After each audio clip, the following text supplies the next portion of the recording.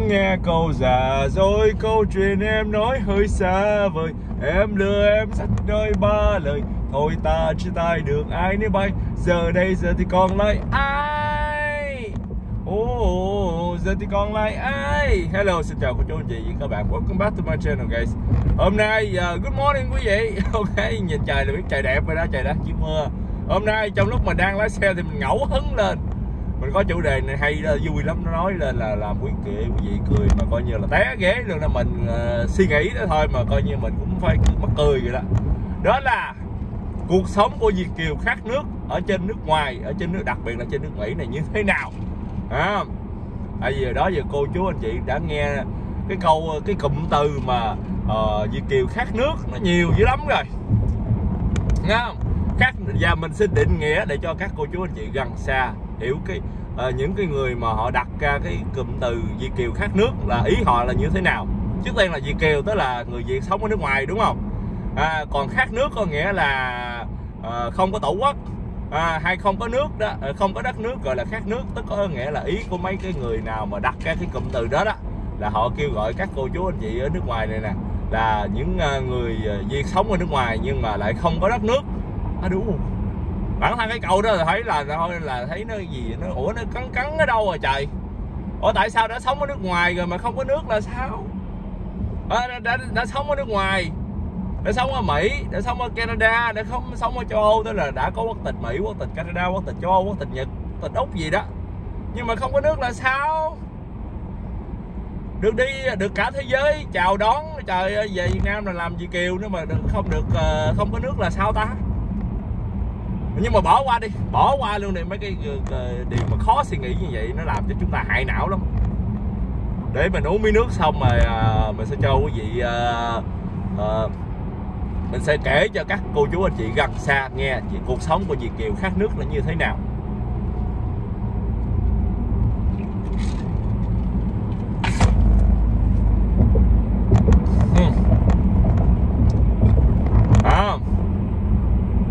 Cuộc sống của Việt kiều khách nước đầu tiên á, là cái gì? Là chắc chắn 100 phần trăm đó các cô chú anh chị quý vị sẽ không biết chạy xe hai bánh.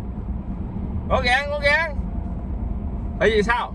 Tại quý vị nghĩ xem ở trên nước Mỹ này ở trên nước Mỹ này quý vị đi xe gì? Quý vị toàn ra đường quý vị đi xe hơi không đúng chưa?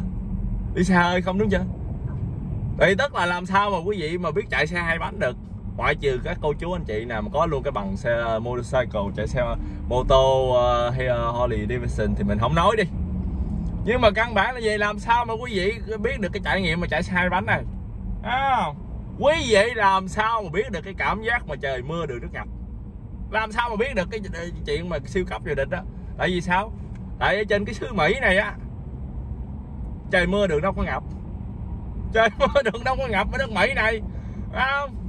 Ở đâu đưa trời mưa cái là ngập liền thì đó mình không biết. Nhưng mà ở riêng nước Mỹ này á trời mưa cả ngày cả đêm. À, thậm chí là hai ba ngày đêm luôn. Không bao giờ ngập hết. Trời ơi trời Mỹ mà. Mỹ mà. Bởi vì vì lẽ đó nhiều khi người ta cũng gọi cô chú anh chị là là coi như là khát nước không chừng nữa. Tại vì trời thậm chí mà trời mưa ngày mưa đêm luôn mà nước còn không ngập nữa thì làm sao mà không bị khát nước được? Đúng không? Nha trời ơi rồi chưa kể nữa quý vị làm sao mà biết được cái cảm giác mà ăn dĩ hè như thế nào? Làm sao mà biết được? Ở ở đất Mỹ này hay đất Canada bên châu Âu đâu có dĩa hè đâu. À đâu có món ăn dĩa hè. Nào ơi món ăn đường đường phố ờ, ở food truck đồ này kia thì nó có nhưng mà không có món ăn dĩa hè. Quý vị làm sao mà uh, có thể thưởng thức được món ăn dĩa hè? Đúng không? À, quý vị làm sao mà có cái cảm giác mà coi như vừa lại xe mà coi như bị nghe tiếng còi um sùm hết coi như là muốn điếc lộ tai luôn. Làm sao mà nghe được? Tại bên mỹ là lái xe đâu có cần bóp kèn đúng không? Có ra không? Có ra không? Đúng không? Quý vị đâu có cần phải vừa lái xe mà vừa bịt tai bóp kèn um sùm trời đất hết. À, đâu cần à. rồi nhưng mà cái bỏ qua cái những cái điều mà uh, coi như là độc lạ đó đi. Bây giờ cái điều mà thực tế hơn nè. Chuyện mà thực tế hơn nè. Ở đất mỹ này đúng không? Là một việt kiều khác nước. Là quý vị sẽ chắc chắn là gì? Không cần phải lo tiền học cho con em quý vị. Đúng chứ? Có gan có gan à, ở đất mỹ này quý vị đi học bình thường ở những hệ thống public school. À, từ mỹ cho tới mỹ xịn mỹ vàng mỹ màu xanh đỏ vàng tím gì đó à, ở trên khắp nước mỹ à, hai bên châu âu hai bên canada cái gì làm sao mà biết được cái cảm giác mà lo tiền học cho con? À, làm sao mà biết được? Tại vì đâu ở đất mỹ là đâu có cần phải lo tiền học cho con em quý vị đâu biết. À, cái như là tới tuổi tới ngày là coi như tụ trường là cái gì mà cấp sách đến trường vậy nè. Ừ. Mà nhiều khi cũng không có cần phải mua tập sách hay, hay là mua uh, cái gì hết á coi như là mấy đó được tặng miễn phí hết. Ha. Trời ơi mà coi như là cũng không có cảm giác mà phải coi như là đưa đón đi học gì nó có xe bus đưa luôn. Trời ơi mà mà xe mỹ nó cái gì? Chứ không phải mà xe mà bá đạo uh, vô danh trên trời rơi xuống nữa nha. Rồi xe thương hiệu mỹ đàng hoàng. Rồi quý vị biết nó chất lượng cỡ nào rồi đó. Thấy không? Trời ơi trời. Thành ra là gì? Là gì kiểu khác nước là cái gì? Quý vị sẽ coi như là sẽ không cần phải lo tiền học đúng không? Không cần phải lo chạy tiền học cho con em quý vị vào mỗi một mùa tủ trường. Và cũng càng không cần phải lo là nếu mà quý vị không có tiền là con em quý vị sẽ bị gọi là thất học. Đó. trời ơi cái cả đó quý vị thấy đơn giản là đó là một trong những trải nghiệm mà chỉ có gì kiều khát nước mới có thôi. Còn nếu mà quý vị mà có nước mà không bị khát nước đó nha thì uh, chắc chắn là quý vị uh, chưa chắc có cái trải nghiệm đó đâu đấy, à, và dĩ nhiên đó là gì? Sẽ có người họ sẽ nói gì nè quý vị? Trời ở bên, mỹ nào mà đi học miễn phí mày? À, đó là ở bên mỹ nó nghe nó đóng thế ba bốn chục phần trăm. Nó đóng thế hai ba chục phần trăm. Làm gì có chuyện miễn phí? Mua cục kẹo nó còn đóng thế à, mua cục xi gum nó còn đóng thế à, mắc cười quá. Bây giờ cái người nào mà nói là coi như là nói chuyện kiểu đó đó mình yêu cầu họ là phải đưa cái giấy tờ khai thế cuối năm của họ ra. Để chi quý vị? Để chúng ta cùng nhau xem là coi như họ khai thế cuối năm á, họ lấy lại được bao nhiêu tiền. À, và coi như là nếu mà ngay cả nếu mà họ không có lấy lại được tiền á thì chúng ta sẽ thấy được là họ đã đóng thuế bao nhiêu năm ờ, bao nhiêu tiền cho cái năm đó rồi. Thấy không? Tại vì sao?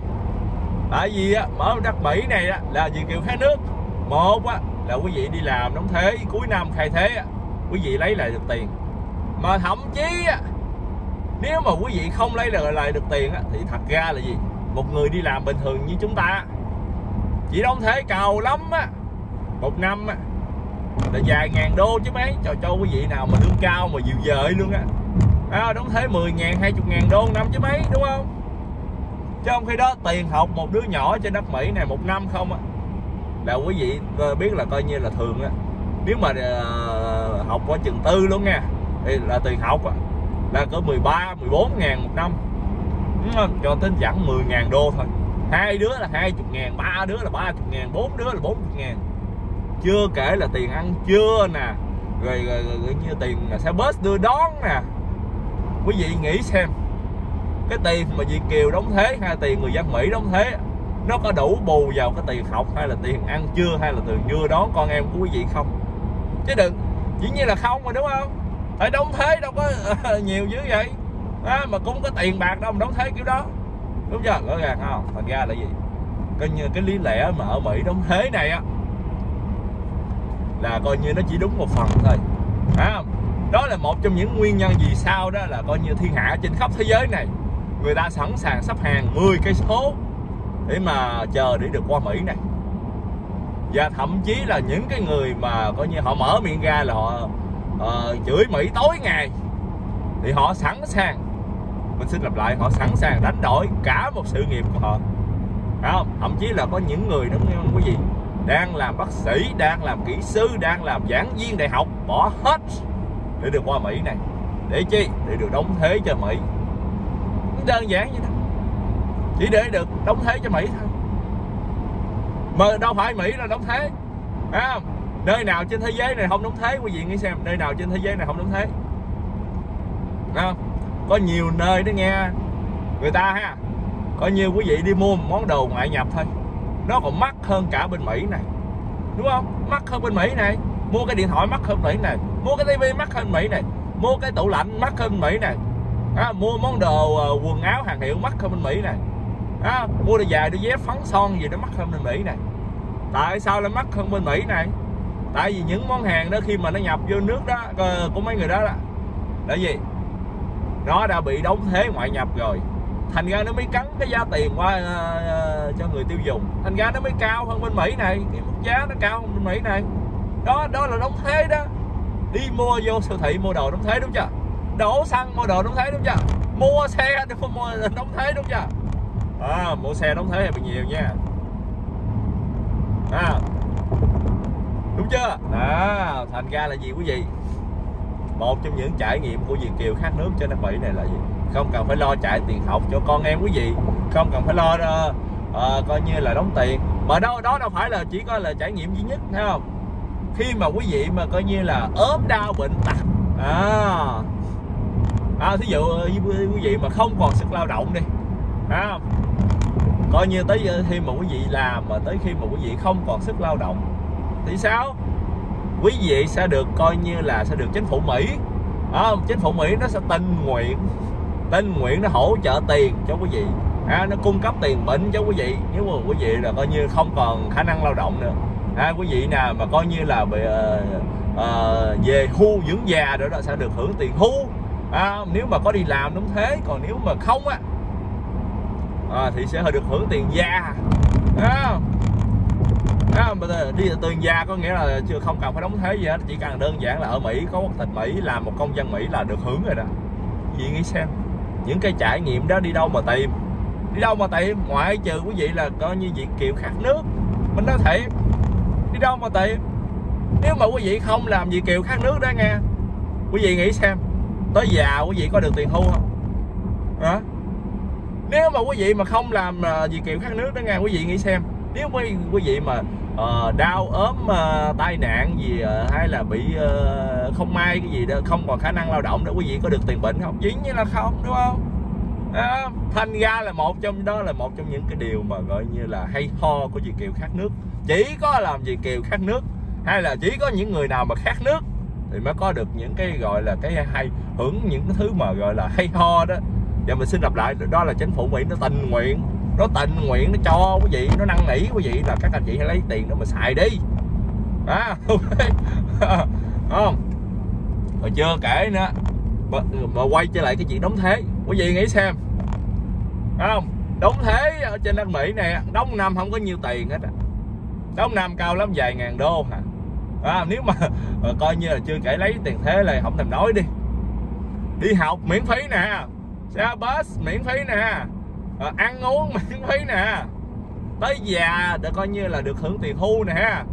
Ok rồi nếu mà không có tiền hưu á thì coi như có tiền già nè. Rồi à, coi như là có tiền bệnh nè. Ha ôi, ôi. tức là bây giờ đóng thế thì không có bao nhiêu hết mà sao mình thấy nãy giờ là coi như hưởng hơi bị nhiều nha. Hưởng hơi bị nhiều nha. Không nhận đúng ở mỹ hơi bị đã. Ok. Không ai mà coi như là uh, chưa đi Mỹ mà nghe cái câu chuyện mà Việt kiều khác nước của Mỹ uh, ở Mỹ mà mình kể ờ, nghe xong là lập tức là coi như binh đường đi Mỹ là cái gì. Binh đường đi Mỹ liền không có cách đi nữa cũng phải tìm cách nữa. À, để mà qua Mỹ được gọi là làm Việt kiều khác nước của gì ok tại khác nước nó có nhiều cái hay ho lắm. À, cái là chưa kể nha. Chưa kể nha quý vị. À, quý vị nghĩ xem các cô chú anh chị nào mà coi như là thích đi ô tô đi thích đi xe hơi đi à, quý vị nghĩ xem. Ở trên nước Mỹ này là gì kiều khác nước là chắc chắn là quý vị phải có một chiếc xe hơi rồi đó. Chắc chắn một trăm phần trăm. Phải không? Phải không? Xe cũ xe mới gì không cần biết. Xấu đẹp gì không cần biết. Nhưng mà gì đỡ hơn không có đúng không? Đỡ hơn không có. Đỡ hơn bao nhiêu người đỡ hơn bao nhiêu người. Nó lên tiếng mạnh miệng là nó nói là, trời mấy chị kiều khác nước ra tiền đâu mua xe. Đúng không? Mà tự gì nó toàn nó đi xe hai bánh không có gì. Nó không có tiền nó mua xe bốn bánh. Đúng không? Rõ ràng rõ ràng, đúng không? Nhưng mà quý vị, là chị kiều khác nước, quý vị lại được đi xe bốn bánh. Là quý vị thấy bảnh rồi đó. Là thấy ngon rồi đó. Đó xe xấu đẹp gì không cần biết à, xe cũ mới gì cũng không cần biết hết á nhưng mà gì quý vị có đúng không? Quý vị có đúng không? Còn đỡ hơn mà à, những những ai kia không có. Không? Không? Thành ra đó là một cái hay ho nữa đó. Rồi cái gì mặt khác quý vị? Không? Ví dụ mà coi như là bây giờ khát nước đúng không? Khát nước nhưng mà quý vị thích đi du lịch. Ví dụ mà cô chú anh chị nào thích đi du lịch hay thích khám phá thế giới đi. Đúng không? Ai thích đi ờ, thám hiểm ờ, làm nhà thám hiểm đi? Tại vì quý vị coi show truyền hình nhiều quá. Thì làm gì? Là một việc kiều khác nước là chắc chắn là gì? Quý vị phải có những cái quốc uh, những cái hộ chiếu mà quyền lực nhất thế giới đúng không? Đó, trừ, trừ khi nào quý vị chưa thi quốc tịch thì mình không tính nha nhưng mà nếu mà quý vị đã coi như đã thi quốc tịch rồi đó thì quý vị phải có trong tay những cái hộ chiếu quyền lực nhất thế giới. Hộ chiếu mỹ nè hộ chiếu canada nè hộ chiếu uh, liên minh châu âu nè hộ chiếu úc nè hộ chiếu nhật nè. Trời ơi nó nghe. Đây lúc đó là đi đâu quý vị nó nghe quý vị khám khám phá thế giới mà tha hồ, mình nói thiệt, tha hồ. Chỉ sợ không tiền mà đi thôi á. Nha, quý vị thấy bảnh không? Quý vị nghĩ ở đâu mà có được những cái lợi lộc hay ho đó. đương nhiên là cũng phải từ cái việc mà làm việc kiều khát nước mà ra, đúng không? Không khát nước làm sao mà quý vị có trong tay những cái gì ờ, cái hộ chiếu mà gọi như là quyền lực trước thế giới được. Hả? Đúng không? Có gan có gan thành ra một trong những cái điều mà kiên quyết đầu tiên để mà có trong tay cái ờ, những cái tấm hộ chiếu mà quyền lực nhất thế giới là quý vị bắt buộc phải là một vị kiều khác nước được. Đúng không? Phải phải bị khác nước. Không có nói nhiều. Không khác nước, không làm được việc đó. Ok. Phải bị khác nước thì mới có trong tay những hộ chiếu quyền lực nhất thế giới được. Đúng không? Và dĩ nhiên đó là gì quý vị? Khi mà khám phá thế giới là quý vị có thể hiên ngang hiên ngang đi khám phá thế giới. À, mua vé máy bay đi đàng hoàng. À, khỏi phải xếp hàng chờ đợi. Quý vị không cần phải chứng minh thu nhập. À, không cần phải chứng minh bản lương. Không cần à, phải chứng minh nhà đất. Không cần phải chứng minh sự ràng buộc gì à, ở đây hết á. Tại vì sao quý vị? Là tại vì quý vị là Việt kiều khác nước tức là gì? Quý vị là công dân Mỹ quý vị là công dân Úc quý vị là công dân Canada quý vị công dân Liên minh châu Âu quý vị công dân Nhật là bao nhiêu đó là coi như đủ uy tín rồi. Là cả thế giới này người ta sẽ tin tưởng là quý vị đi xong là quý vị sẽ quay về Mỹ quay về Canada quay về châu quay về Nhật quay về Úc của quý vị. Thấy không? Thấy không? Trời ơi một trong những cái đó là mà gọi là đẳng cấp mới đúng quý vị. Phải có nhiều nơi á. Là coi như là uh, con người ta khoái đi ra nước ngoài lắm quý vị khoái lắm à, coi như là uh, ngồi xem tivi tivi cũng mơ mộng uh, ra, ra nước ngoài đó tại vì ra nước ngoài làm tiền đô quý vị làm tiền đô à, làm tiền đô nó có giá giờ thứ hai nữa là gì quý vị. À, được được sống ở nước ngoài tao khoái lắm.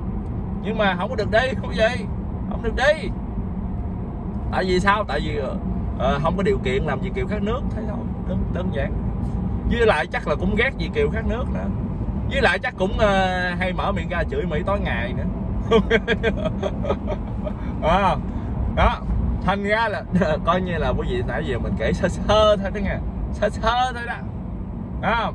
Là chờ coi như là những thứ hay ho mà quý vị kịp khát nước rồi đó. Nghe không? Rồi gì thứ hai nữa là gì quý vị? Xài đồ hiệu. Quý vị nghĩ xem.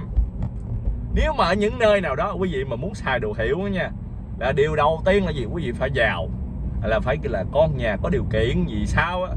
À, tại vì đồ hiệu nó mắc quá đi quá trời mắc đi. À, nó nhiều khi nó bằng cả mấy tháng lương nó bằng cả năm lương. Ví dụ một cái điện thoại di động iphone thôi quý vị. À, nhiều nơi nghe quý vị nó bằng mười mấy tháng lương. Quý vị nghĩ mười mấy tháng lương là bao lâu rồi? Một hai năm lương. À, cho cho một cái điện thoại di động thôi đó. Cho một cái gọi là iPhone thôi đó. iPhone uh, hiện giờ iPhone 15 phải không? Nhưng mà ở Mỹ nè. Khác nước không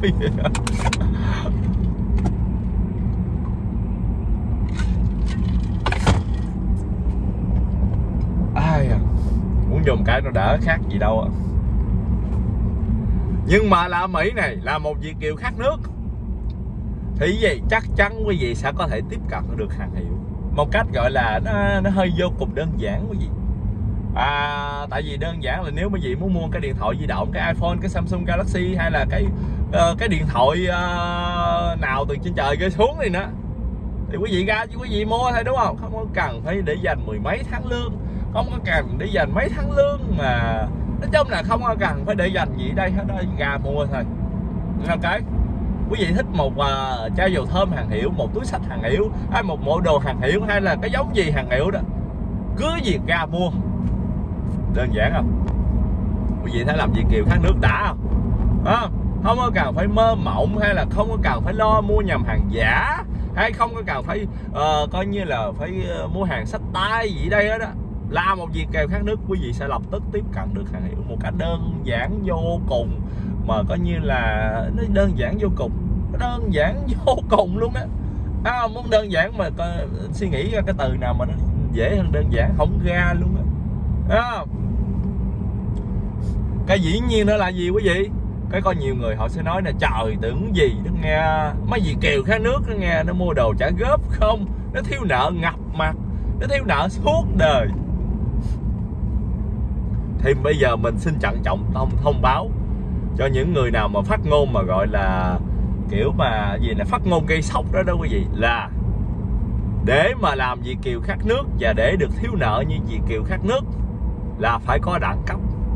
Mình tiên bố mạnh. Bây giờ mình xin đọc lại, để mà làm gì kiều khát nước, để mà làm gì kiều mà coi như thiếu nợ, quý vị phải có đẳng cấp. Tại vì sao? Tại vì nếu mà quý vị không có đẳng cấp thì sẽ không ai cho quý vị thiếu nợ hết.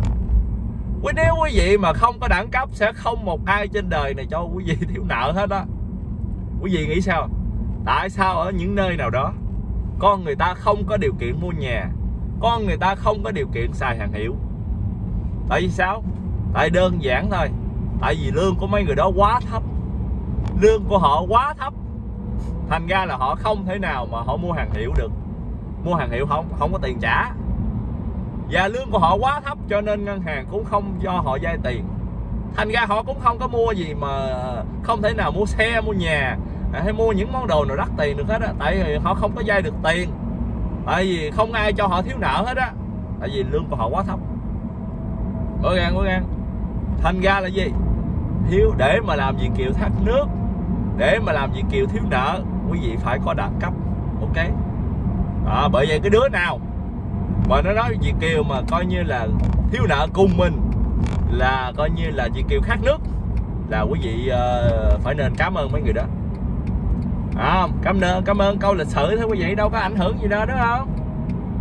À, đâu có gì mà gọi nặng nhọc đó chứ là là người ờ, phương tây mà quý vị cứ cảm ơn đại đi. Nói chị à, cảm ơn em cảm ơn anh. À, sau đó là dĩ nhiên quý vị sẽ giải thích nhờ là quý vị được làm gì kiều khát nước cho nên quý vị được học free quý vị được đi xe ô tô quý vị được mua nhà mua xe sàn hiểu, quý vị được đi khám phá thế giới.